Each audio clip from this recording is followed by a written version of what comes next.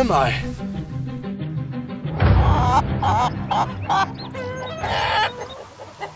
When I look around, I see recipes waiting to be made. I'm not a vegetarian, and I have no intention of killing anything because I don't want to get any blood on my shoes. Oh look, it's a chicken coop. I guess I'll show you how to make devil eggs instead.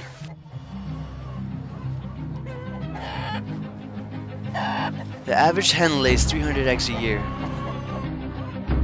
For today's recipe, I'm gonna need some eggs. See what I can find.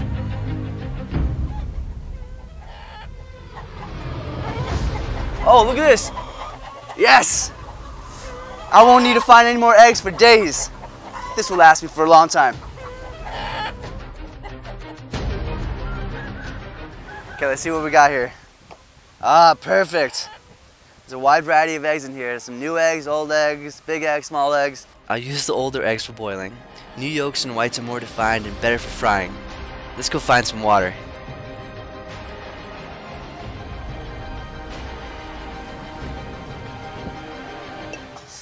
Out here in the wild, having a saucepan is absolutely necessary.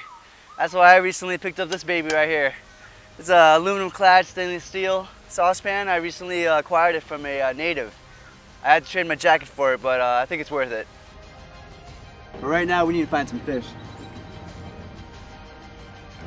Oh, there we go. Ah, we can use this later in our recipe. Let's go make a fire.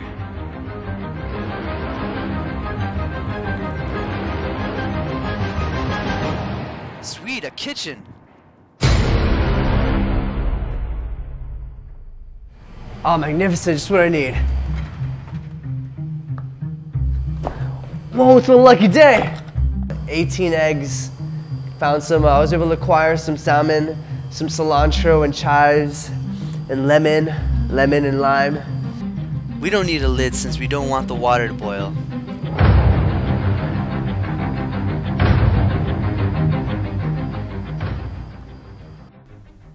Hi, I'm Dr. Humpty Dumpty. Welcome to another edition of Inside the Shell. I'm joined today by Professor Yoke Eggman. Good evening. Today, we'll be discussing what's going on in the shell while we're cooking an egg in water.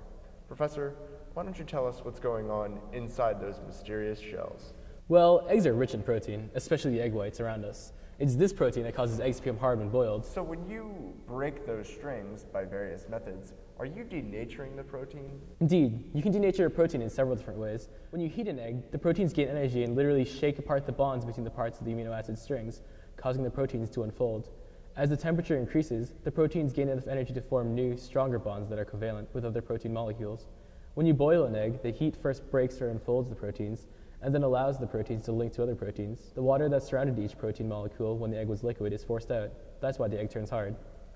Hmm. So you're saying that heat affects all of the proteins in, in an egg? Yes. When cooking eggs, you should always use moderate heat. High heat causes the protein in eggs to become tough and rubbery. So if you use high heat to boil an egg, the iron in the yolk will react with the hydrogen sulfide in the white and will leave a green film of iron sulfide around the yolk. It won't hurt you to eat it, and the egg will taste the same, but it's going to look bad. Agreed. Thank you very much, Professor. Join us next week for another episode of Inside the Shell. Welcome back. Did you learn anything? I owe my career to those guys.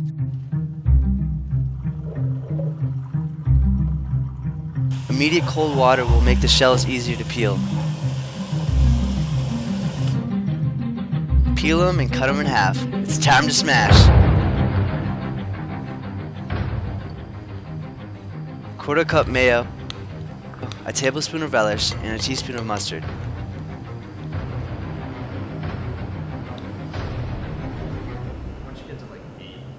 Mix and match some of the other ingredients I found here. Even threw in some smoked salmon to thrill the taste buds. Gentlemen, I present you deviled eggs.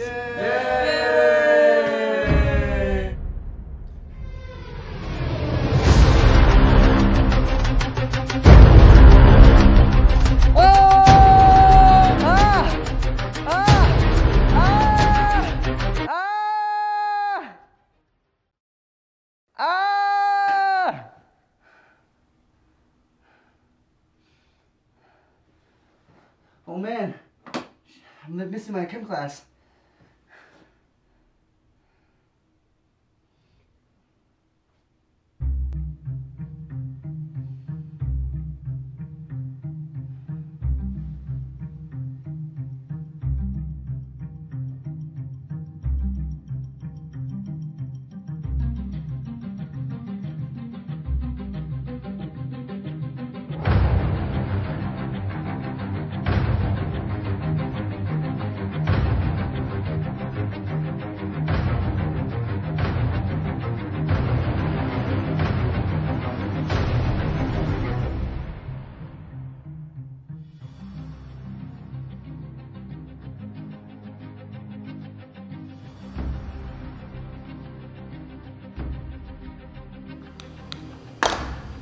Oh, not cool. Not cool.